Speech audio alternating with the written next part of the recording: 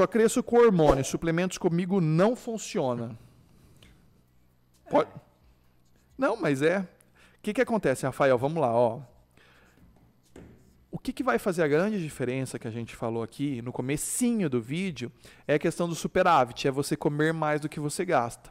Vai ter a quantidade de proteína que você precisa, vai ter a quantidade de carboidrato, vai ter a quantidade de, de gordura. Então, primeiro, você vai ter que fazer isso. Você pode tomar hormônio, você pode tomar suplemento. Como a gente falou, o suplemento é um complemento. O que vai ajudar você a crescer. Se você não fazer o superávit, que é comer mais do que você gasta, comer mais proteína, você não vai crescer. Nem com hormônio. É que talvez ele tá tomando, ele tentou tomar o suplemento, mas aí esqueceu dessa parte da dieta. Da né? comida. E outra, se você não fizer a questão do superávit, mesmo com o hormônio, é lógico que vai ganhar.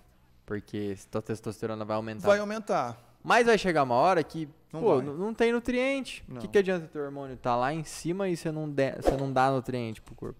Então aí eu acho que mesmo com hormônio, se você não estiver fazendo esse negócio, essa parte do superávit aí, vai, ficar, vai chegar uma hora que vai parar também.